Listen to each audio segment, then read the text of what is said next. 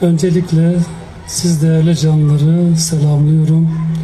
Allah'ın selamı, bereketi, rahmeti, Ehl-i Beyt'in nuru inayeti, 14 masumların, 12 imamların nazarı üzerinize olsun. Bugün Muharrem ayının 5. günü. İmam Hüseyin Kerbela'ya gelişinin, varışının 3. 4. günü.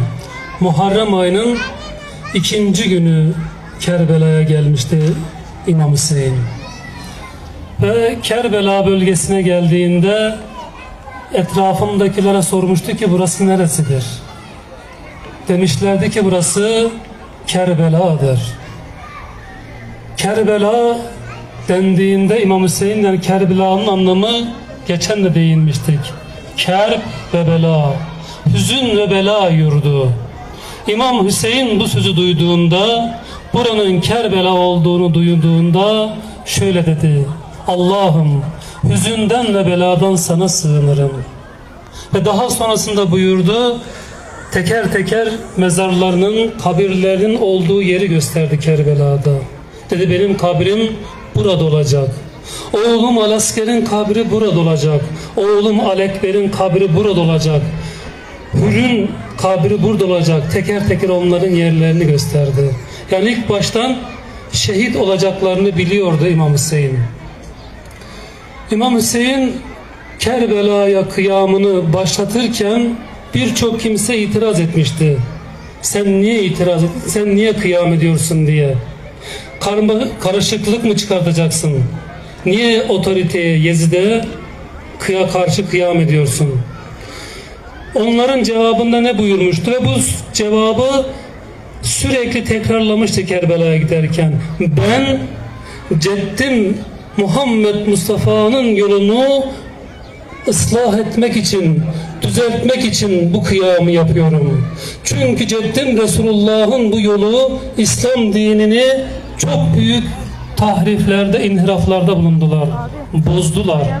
Ben bozulan bu yolu düzeltmek için, yoksa makam elde etmek için, bir yerlere gelmek için, post makam elde etmek için kıyam etmiyorum. Ve bunu sürekli tekrarlıyordu.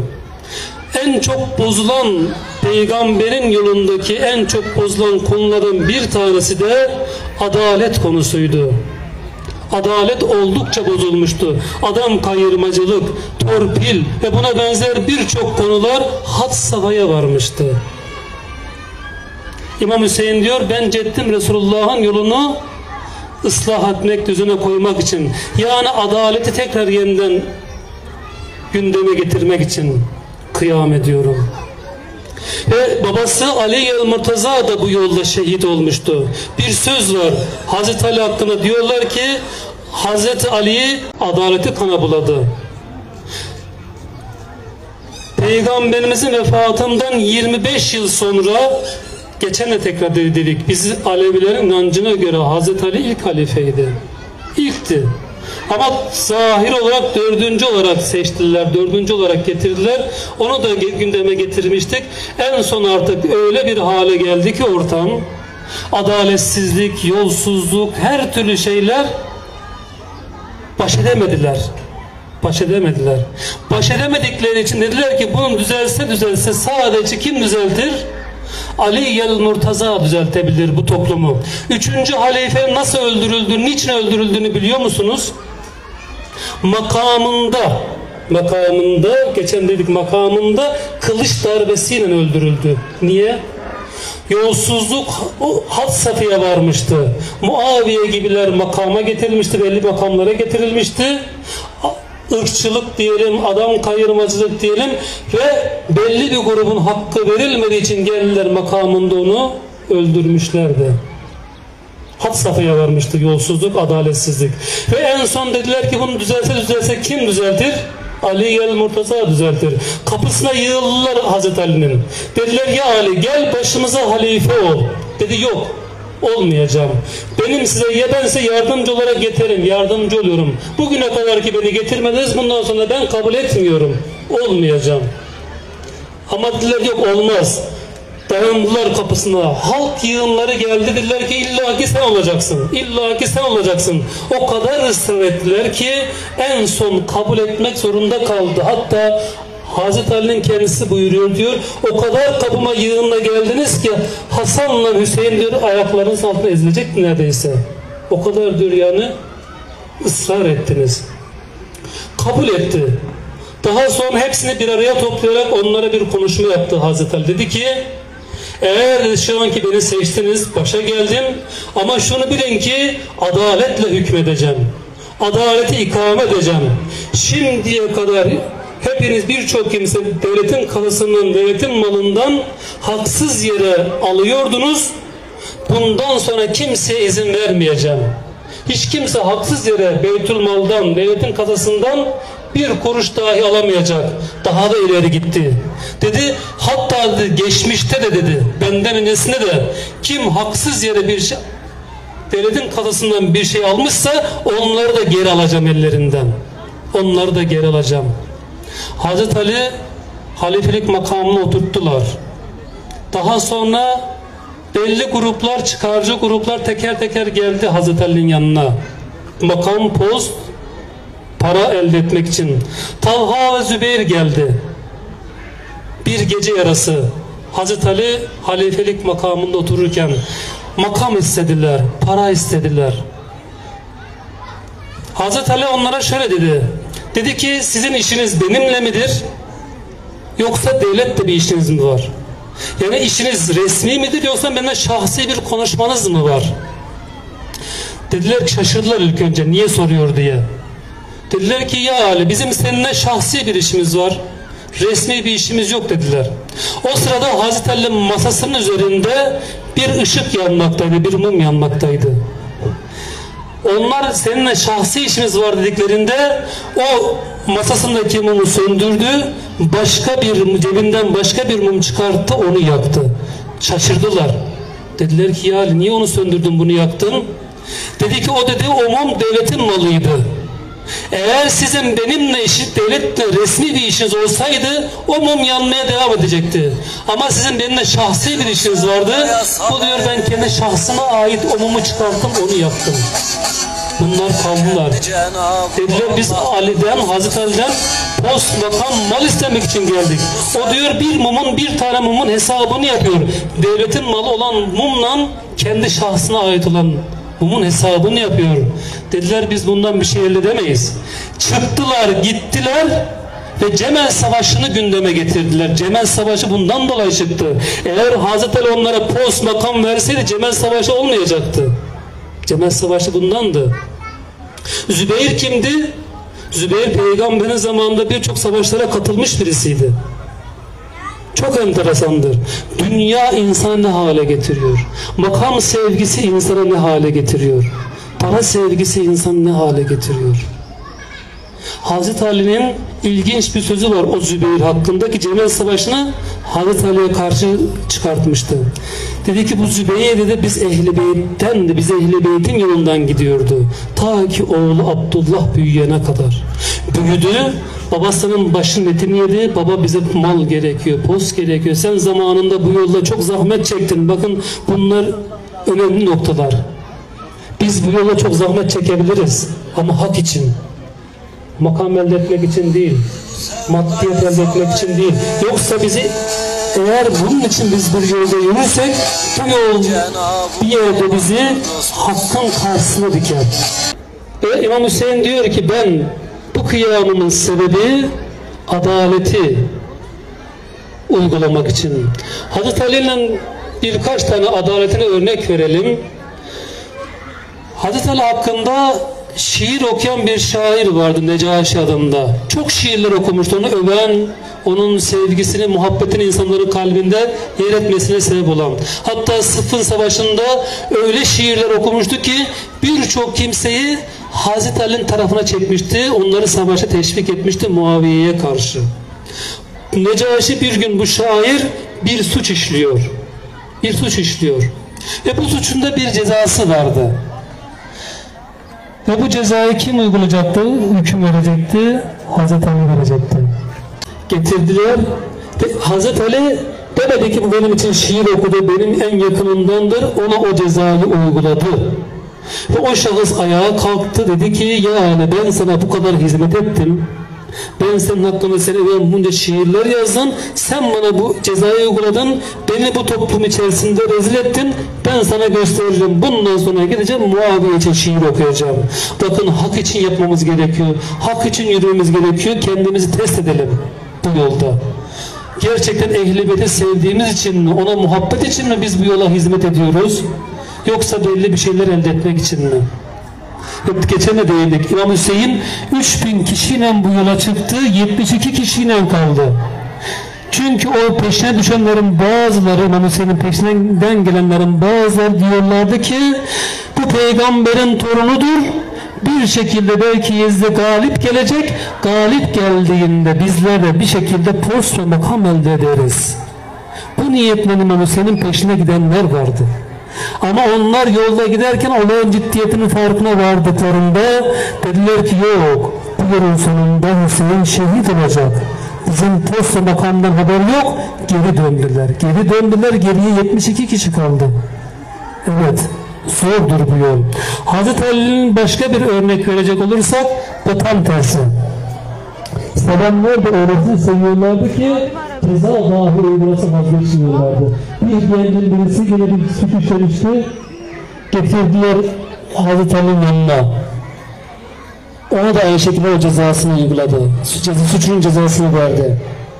Bu genç oradan uzaklaşırken ceza mahallinden, olduğunun mahalden, yerden bir Yahudi İbn Kevve adında bir Yahudi gelerek bu genci Hazreti Ali'ye karşı kinlendirmek istedi. Dedi ki sen ki dedi Ali Ali diyorsun ya Ali ya Ali de feryat ediyorsun gecen gündüzün onun sevgi ve muhabbetiyle bak diyor sana yaptığını gördün mü? Ama bu genç ne cevap veriyor? Benim benim diyor cezamı veren Haydar-ı Kerrar'dır. Haydar'ın Fatihidir. Benim cezamı veren Ali el Murtaza'dır. Ben bundan gurur duyuyorum. Ben diyor bundan gurur duyuyorum. Cezamı veren Allah'ın aslanı Ali el Murtaza'dır. Böyleleri de vardı. İnşallah Allah bizi böyle olanlardan karar kılsın sevenleri de vardı. Ve bu yüzden Peygamberimiz Hazreti Ali hakkında şöyle buyurmuş. Demişti ki ya Ali münafık seni hiçbir şekilde sevmez, mümin de senden nefret etmez. Eğer münafığın ağzına parmağınla bal da sürsen seni yine sevmez. Hiçbir şekilde sevmez. Ama müminin diyor şu kılıcınla, zülfikarınla müminin burnunu da kessen seni sevmekten vazgeçmez. Ya Ali bizler seni sevmekten vazgeçmeyeceğiz. Bu yolda ne kadar zahmet de çeksek, ne kadar bu uğurda bize zulüm de olsa, mahrum da bırakılsak senin yanından vazgeçmeyeceğiz ya Ali. Çünkü Hazreti Ali'nin kendisi buyuruyordu. Beni bir taş bile sevse başına sıkıntı gelir mutlaka. O sevginin diyorlar gülün dikeni vardır. Gülü seven dikenine katlanması gerekir. Bizler de bu gülleri sevmekteyiz. Ehli beni sevmekteyiz. 12 imamları sevmekteyiz. Bu sıkıntılara da razıyız. Bu yolda başımıza gelenlere de razıyız. Allah bizi onların yolundan ayırmasın. Dedik evet adaletti. Hazreti Ali'nin adaletiydi. Onu bu şekilde kana bulayan, kana boyayan. Cemel Savaşı gündeme geldi. Sıffin Savaşı gündeme geldi teker teker. Ve Hazreti Ali'nin o dört yıllık halifelik zamanında burnundan getirdi bu toplum. Burnundan getirdiler. O zaman hükümetinin merkezi Kufe'ydi. Kufe'de başkenti Kufe'di. Kufe'de hükümetini yapmıştı. Hazreti Ali'nin ömrünün sonlarıydı. Aynı bu şekilde bir gün Kufe halkını topladı, onlara bir konuşma yaptı. Konuşmasının bir yerinde yani başından giden sıkıntılardan, araz onların yaptıklarından, birçok sorunlardan bahsetti. Daha sonra konuşmasını kesti onlara karşı, başını kaldırdı, Kur'an'ı koydu başına Allah'a seslendi. Dedi ki Allah'ım, Allah'ım ben bu toplumdan bıktım artık. Ben bu toplumdan usandım artık. Yıldım artık ben bu toplumdan. Onlar da benden yıldılar. Ben onlardan yıldım, onlar da benden yıldılar. Peki o toplum Hazreti niye yılmıştı? Tek bir cevabı var bunun. Adaletinden. Öylesine ada- adalet zordur. Herkes adalet ister. Ama adalete tahammül etmek çok zordur gerçekten de. Herkes ister ama zordur. Niye zordur?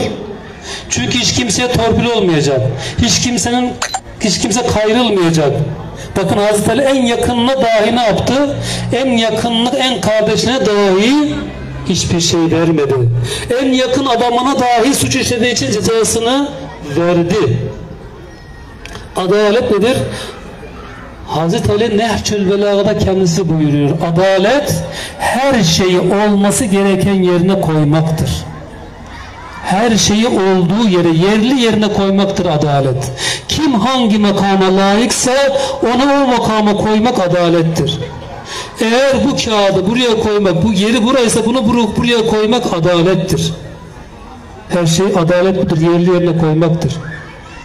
Eğer bu miktar filan kimseye verilmesi gerekiyorsa bu, bu paranın yeri oraysa onu oraya vermek adalettir. Adalet budur. Hatta bir defasında soruyorlar Hazreti Ali'ye diyorlar ki adalet mi daha üstün yoksa cömertlik mi daha üstün? Hangisi daha üstün? Adalet mi daha üstün, cömertlik mi daha üstün? İmam Ali buyuruyor, diyor ki cömertlik her zaman olmaz. Cömertlik bazı zamanlarda olur. Ama adalet her zaman için geçerlidir. O yüzden adalet cömertlikten daha üstündür. En üstünü adalettir. Eğer adalet yerine gelse hiçbir sıkıntı olmaz. Bizim inancımızın, Alevilik inancının temeli adalet üzerine kuruldur. Adalet üzerine kuruldur. Adaletin tam tersi nedir? Zulümdür. Zıttı zulümdür. Hatta Allahu Teala peygamberlerini seçerken dahi adalet üzerine seçmiştir. Kur'an-ı Kerim'de buyuruyor Allah adaleti emreder. Adil olmanızı emreder. Hazreti İbrahim Halilullah o bütün imtihanları geçtikten sonra ateşe atıldıktan sonra Hazreti İsmail'le ilgili olan o imtihanları geçtikten sonra Allahu Teala Bakara suresi 124. ayette buyuruyor. Diyor ki ey İbrahim ben seni insanlara imam, rehber, önder olarak seçtim. Bütün o imtihanları geçtikten sonra ben seni insanlara önder olarak seçtim. Bunun üzerine Hazreti İbrahim diyor ki ey Allah'ım beni ki seçtin benim soyumdan da önderler ve liderler seç. Bu topte dini din lideri din boyutunda. Bu yolun bu yolun rehberini benim soyumdan seç. Orada Allah ne buyuruyor? Çok önemli burası. Bakara suresi 124. ayet. Diyor ki ey İbrahim benim ahdim zalimlere ulaşmaz, zalimlere erişmez. Zulüm kelimesini gündeme getiriyor. Yani peygamberler dahi adil olmak zorunda ki peygamber olsun. Peygamber olsun. Hazreti İbrahim istiyor soyundan imamlar gelsin. 12 imamlar Hazreti İbrahim'in soyundandır. Peygamber gelsin ama Allah buyuruyor ki benim ahdim, benim bu peygamberlik, nübüvvet, imamet makamım zalimlere ulaşmaz. Doğrudur. Ben bu duanı kabul ettim. Ama senin soyundan adiller, adil olan insanlar gelecek onlara nasip olacak. İmam Hüseyin Kerbela'da Yezid'in ordusuna karşı durduğunda bu ayeti gündeme getiriyor. İbrahim'in soyu. Ve başka bir ayette geçiyor. Diyor ki Allah Teala biz İbrahim'i, Nuh'u onları birbirinden gelen peygamberler olarak onların soyunu seçtik diyor. Onların soyunu seçtik. Üstün insanlar karar kıldık. Diyor ki İmam Hüseyin ben bu soydan geliyorum. İbrahim'in bu duası üzerine adil olan o insanlardan biriyim. Ahzab suresi 33. ayet nazil olduğunda nedir Ahzab suresi 33. 33. ayet? Ey ehli beyt Allah sizden her türlü kiri, pisliği gidermeyi ve sizi tertemiz olmayı irade ediyor.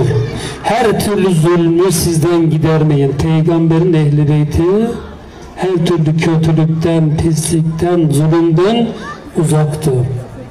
Hazreti Ali peygamberimizin yanındaydı. Dedi ki onlar kimdir ey peygamber?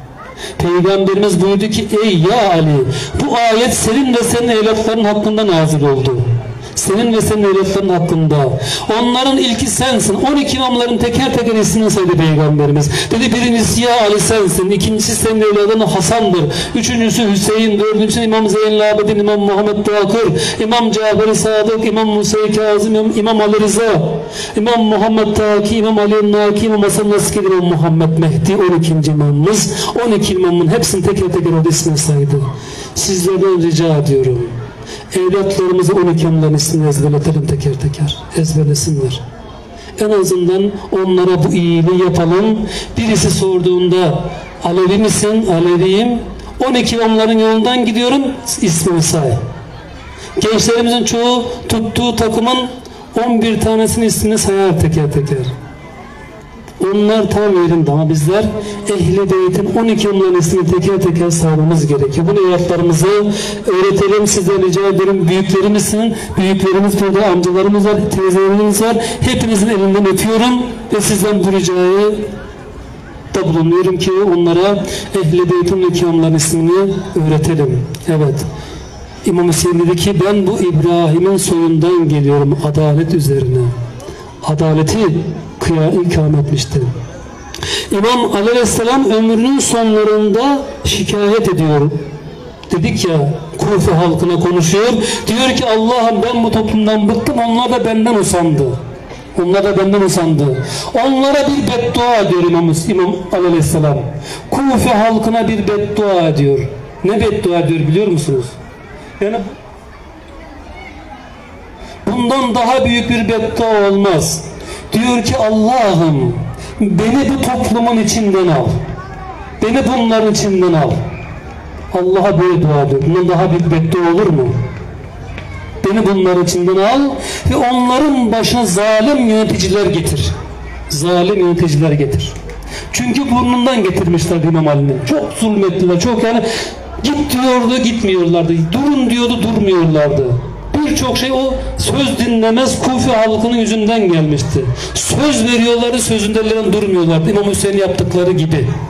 Kufi halkı yani bir mesel olmuştu. Sözünde durmayanlar hakkında diyorlardı ki sen Kufeli misin? Kufeli, Kufe ehli misin? Sözünde durmayanlar için. İmam Ali'yi aldı Allah onların içinden.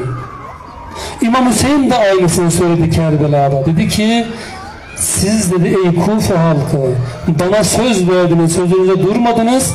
Allah sizin başınıza çok kötü sizi dedi çok kötü yöneticileri getirecek. Size rahat yüzü göstermeyecek. Size rahat yüzü göstermesin. Ve Kerbela olayından sonra Kufe durulmadı. Rahat yüzü görmediler. Kerbela'da 6 ay sonra Tevvab'ın hareketi oldu. Ondan sonra muhtarı Sakafi biliyorsunuz muhtarın kıyamı oldu. Kerbela bu kıyamların hepsinde Kerbela Kufe'de birçok insanın kanı döküldü. Rahat yüzü görmediler. Daha sonrasında Abdül Abdülmelik Mervan'ın zamanında Haccacı Yusuf duymuşuzdur. Haccacı Yusuf. Tarihin en zalim, en gaddar kimsesi. Haccacı Yusuf. Abdülmelik Mervan zamanında Haccacı Yusuf'u Kufe'ye vali olarak atadı. O kadar zalim birisiydi ki Haccac o kadar zalimdi ki Kufe'ye ilk geldiğinde Kufe halkını bir araya topladı. İlk konuşması şu oldu. Ey Kufe halkı! Ey iki yüzlü insanlar! Ey her türlü kötü sıfata sahip olan insanlar. İlk konuşması buydu. Dikkat edin. Hiç tarihte görülmüş müdür? Bir vali bir şehre gelecek. Atandığı ilk gün o şehrin halkına bu şekilde konuşacak. Dedi ki ey iki yüzlü insanlar. Dedi ben dedi bazı boynu uzamış kelleleri görüyorum boynu uzamış kendileri görüyorum. Orada birkaç kişinin boynunu vurdurdu. Daha sonra da dedi ki Basra'da dedi Yezid'e karşı, Yezid'in Emevi hükümetine karşı, Emevi hükümetine karşı bir ayaklanma var Basra'da. Hepiniz gideceksiniz. Hükümete karşı ayaklananları bastırmak için savaşacaksınız. Gideceksiniz. O sırada çok yaşlı bir kabile reisi Haccıcı Yusuf'un yanına geldi dedi ki benim birçok genç evladım var senin orduna katılı savaşa gidiyor ben çok yaşlıyım onlardan bir tanesini benim yerime kay beni bu savaştan muaf et beni seninle savaşa götürme Diyor oldukça yaşı zorla geldi. Diyor daha bu yaş adamın sözü bitmedi ki Haccac emir verdi de vurun kellesini. Orada kellesini vurdular onun. Bu manzarayı gören halk koşa koşa yığınlarla savaşa gittiler. Birbirlerine hatta birçoğu Fırat Nehri'ne dökülerek öldüler.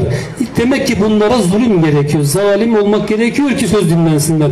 Ehli beyt zulmetmemişti. Geçen gün de değindik. İnsanlar istediler ki ira kendi iradeleriyle, kendi istekleriyle bu yolla yürüsünler. O gün de dedik ya İmam Ali Zülfikar çekemez miydi? Çekerdi. Çok da güzel çekerdi ama çekmedi. Yapmadı bunu. Yapmadı. Ama dedi ki Allah'ım beni bu toplumun içinden al onlara en kötü yöneticileri getir geldi. Hatice Yusuf o kadar zulmetti ki 20 yıl Kufe'ye hükmetti. 20 yıl boyunca 120 bin kişinin kanını döktü. Öyle bir hapishane yaptı ki hapishanenin üstü açıktı. Yaz kış açıktı. Kufe'nin sıcağını bilirsiniz. Kerbela'nın sıcağı, o tarafın sıcaklığını bilirsiniz. Dehşet bir sıcağı vardır oranın. Hapishanelerin üstü açıktı. Kışın soğuk vuruyordu, yazın sıcak vuruyordu onların başına. Umurunda değildi. Geberirlerse gebersinler diyorlardı. Hatta bir kısa daha okuyayım size Haccaç'tan. Bir gün Haccaç Fırat Nehri'ne düşüyor. Yüzme bilmiyordu. Boğulmak üzere şahsın birisi atlıyor yüzme bildiği için atlıyor. Hacıcı o Fırat Nehri'nden kurtarıyor. Boğulmaktan kurtarıyor. Haccaç ne yapıyor biliyor musunuz? Kendisini kurtaran o adama. Diyor ki yatırın bunu kırbaçlayın diyor. Diyor şaşırıyorlar. Niye? Bu gider der ki ben hacıcı boğulmaktan kurtardım der diyor. Sakın böyle bir şey demesin diyor. Bunu kırbaçlayın diyor. Korkusundan demesin diyor. Böyle bir adamdı. Böyle bir zalimdi. Ve bu Kufi halkının gerçekten de iki yüzlüydü. İmam Hüseyin söz verdiler, sözlerine durmadılar. Bunlara karşı savaşlar Kerbela'da. Biraz önce Alasker'den bahsedildi. Alasker'den bahsedildi. Kerbela'da Aşura günü Muharrem'in onunda İmam Hüseyin'in bütün yaranları teker teker şehit olmuştu. Züheyr şehit olmuştu. Hür şehit olmuştu. Kasım şehit olmuştu. Ali Ekber şehit olmuştu. Bütün yaranları şehit olmuştu. İmam Hüseyin etrafına bakındı. Başka kimse kaldı mı diye. Hiç kimse yoktu. Çadırdan ağlama sesleri geldi. İmam Hüseyin çadıra doğru yöneldi. Dedi ki benim minik yavrumu altı aylık alaskerimi kucağıma verin verin bana. Annesi Rubab sevindi önce. Dedi ki yavrumun susuzluğunu giderecek İmam Hüseyin. Ona su bulacak. Onun suyu susuzluğunu gidermek için istiyor. Sevinçsiz, sevindi bir. Biliyorsunuz anneler minik yavrularına karşı nasıl merhametten yaklaşırlar. Onların ağlamalarını dayanamazlar. Hüzünlenirler. O minik yavru da susuzluktan perişan olmuştu. İmam Hüseyin o yavrusunu istediğinde annesi Rubab sevinçli, ümitli bir şekilde İmam Hüseyin'in kucağına verdi. İmam Hüseyin atındaydı. Kucağına aldı. Annesi arkasından ümitle bakıyordu. Alasker'in. İmam Hüseyin düşman ordusuna doğru ilerledi. Onlara doğru baktı. Altı aylık yavrusunu kaldırarak onlara gösterdi. Dedi ki seslendi. Ey Yezid'in ordusu, ey kafir topluluğu, sizin savaşınız benimledir. Bu minik yavrunun ne günahı var? Bu minik yavrunun ne suçu var? En azından ona bir yudum su verin. En azından ona bir yudum su verin. O bizim deyişlerimizde diyorlar ya, yandın mı olur bir yudum su? Susuzluk o kadar galebe gelmişti ki Alaska'da bir minik yavru, kundaktaki bebekler bir sıkıntısı olduğunda, bir ihtiyacı olduğunda bağıra bağıra, çığlık ata ata ağlarlar. Sesleri çıkar. Hatta bazen rahatsız eder etraftaki insanları. Çığlık atarlar, ağlamaları seslidir. Ama askeri o kadar susamıştı, boğazı o kadar kurumuştu ki sesi daha çıkmıyordu. Aynı sudan çıkan bir balık misali nasıl ki balık ağzını açıp açıp kapatıyor sadece. Alaska da sadece ağzını açıp açıp kapatıyor, ses yoktu. Ses yoktu Alesker, Alesker'de. Sadece balık gibi ağzını açıp kapatıyordu. O kadar susuzdu. İmam Hüseyin dedi ki ey Yezid'in ordusu sizin savaştığınız benim nedir? Bu minik yavrunun ne suçu var? En azından ona bir yudum su verin. Ömer bin Saad dedi ki her meleğe bak Hüseyin ne diyor? Onun cevabını ver. Hermele okuna, yayına üç başlı ok koydu. O zamanlar meşhurdu. Tek ok değil, üç tane başı vardı okun, üç tane. Hermele İmam Hüseyin bu konuşmaları yaparken Alasker'in boğazını nişan aldı. Alasker'in boğazını nişan aldı. İmam Hüseyin bu konuşmayı yaparken bir de baktı elleri kan içinde. Baktı ki elleri kanla doldu. Şaşırdı şaşkınlıktan kaldı yani o konuşma yaparken kış- şaşırdı kaldı olduğu yerde. Eli kanla dolmuştu İmam Hüseyin ne yapacağını şaşırmıştı. Bir önündeki orduya bakıyordu bir geri çadıra bakıyordu. Bir kucağındaki o minik yavruya bakıyordu İmam Hüseyin. Bir an durdu en son avucundaki o kanları gökyüzüne serpti. Ve dedi ki Allah'ım bu da benim sana en son kurbanımdır. En son kurbanımdır. Geri dönecek ama annesine ne cevap verecekti? Çünkü o da umutla bekliyor. Oğlumun Alaskeri'nin susuzluğu giderildi diye bekliyor. Oğlu kurban olmuştu. İmam Hüseyin nasıl cevap verecekti annesine? Evet. Kerbela bu acıların yaşandığı yerdi. Daha nice acılar yaşandı. Nice acılar yaşandı. 12 imamlardan, 12 imamlarımızdan gelen bize söz var, bir söz var. Diyorlar ki Kerbela'nın size sadece damlası anlatıldı. Sizler sadece Kerbela'nın bir damlasını biliyorsunuz. Eğer Kerbela'da neler yaşandığını bilseydiniz yürekleriniz takat getirmez, çatlar ölürdünüz. O yüzden size Kerbela'nın sadece damlası anlatıldı. Allahu Teala bizleri ehli beytin yolundan, 12 imamların yolundan ayırmasın. Ve Allah o zalimlere, Yezidlere, Yezid'e lanet etsin. Lanet olsun Yezid'e. Selam olsun Hüseyin'e. Lanet olsun Yezid'e. Allah'ın selamı, rahmeti üzerinize olsun tekrardan.